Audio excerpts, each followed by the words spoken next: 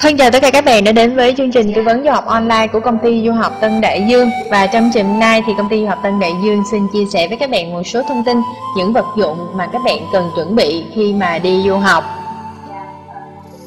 Thì khi đi du học thì ngoài những vật dụng cần thiết như là quần áo, thuốc men, nhu yếu phẩm Thì à, bạn cần phải chuẩn bị một tâm lý sẵn sàng để có thể sống tự lập một cách đúng nghĩa nhất. Thì nhân đây thì Tân Đại Dương cũng xin chia sẻ một số gợi ý thì à, sẽ giúp cho bạn có được hành trang du học gọn nhẹ và hợp lý khi đi du học. Thì tùy thuộc vào hành lý mà các bạn mang theo của từng bạn du học sinh, thường thì chỉ được đem theo khoảng từ 30 hay 40 kg hành lý. Đối với quần áo thì à, đa số các bạn sẽ chuẩn bị khi đi du học đều mua khá nhiều quần áo với tâm lý là tiết kiệm vì cho rằng mua quần áo ở nhà thì sẽ rẻ hơn. Tuy nhiên thì kinh nghiệm truyền lại từ các du học sinh cho thấy thì quần áo lại là thứ nên ít đem theo nhất.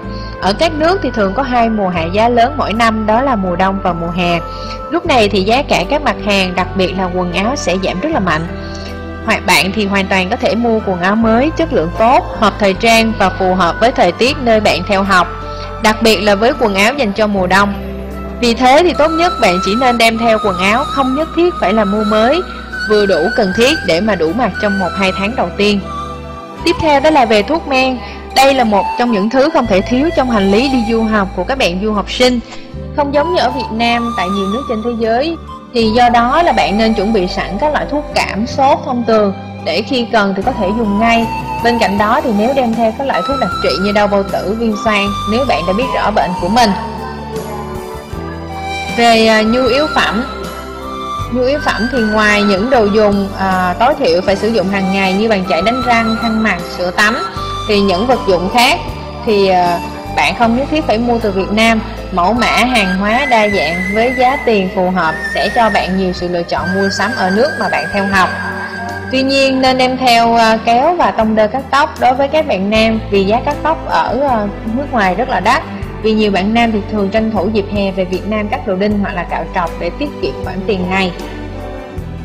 Về những giấy tờ thì à, các bạn nên chuẩn bị một bộ hồ sơ bao gồm bản sao các loại giấy tờ cần thiết như là hộ chiếu, chứng minh nhân dân, giấy khai sinh, à, văn bằng chứng chỉ, bản điểm có công chứng, phòng khi cần thiết. Đặc biệt là bạn nên đem theo nhiều hình thẻ cỡ 3-4 hoặc là cỡ passport vì chụp hình thẻ ở một số nước như các nước phương Tây thì không hề rẻ mà bạn phải tự chụp bằng máy tự động nên có thể sẽ không được đẹp về thức ăn thì à, những chỗ trống trong vali thì nên được lấp đầy bằng đồ ăn Việt Nam. Đó là kinh nghiệm mà giới du học sinh truyền đạt lại cho nhau.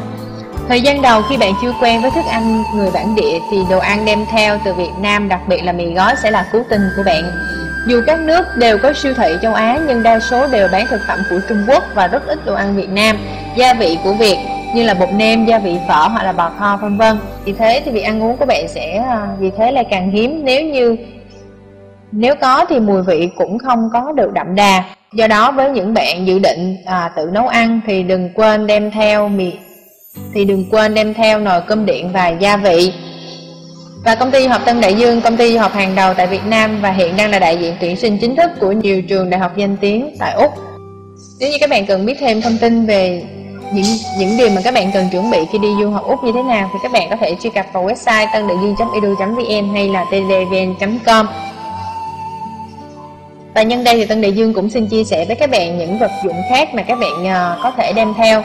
Ví dụ như có thể là à, đầu chuyển điện nhất thiết là phải có trong vali khi các bạn đi du học vì ổ cắm điện ở các nước rất là khác nhau.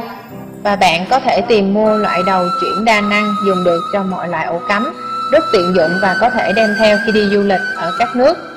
Ngoài ra thì bạn cũng nên chuẩn bị các loại đĩa cài Windows và phần mềm máy tính phòng khi laptop của mình gặp trục trặc một số quà lưu niệm đơn giản như là bookmark hay là bưu thiếp vân vân túi ngủ nếu như bạn dự định đi du lịch nhiều Hình ảnh của gia đình, người thân và bạn bè sẽ rất hữu ích trong thời gian đầu xa nhà. Chúng sẽ khiến cho bạn cảm giác như là có gia đình và bạn bè bên cạnh. Cuối cùng là thứ quan trọng nhất mà bạn không thể thiếu trong hành trang du học đó là tâm lý sẵn sàng để sống tự lập một cách đúng nghĩa nhất. Vì bạn sẽ phải tự lo liệu cuộc sống của mình. Từ việc học đến những việc nhỏ nhặt như là mua gạo, nước mắm và muối.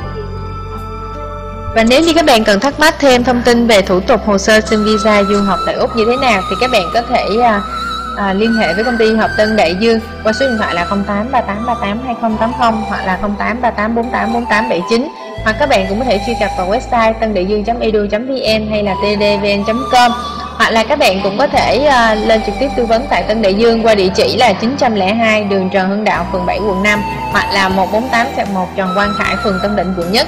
Xin chào và hẹn gặp lại các bạn.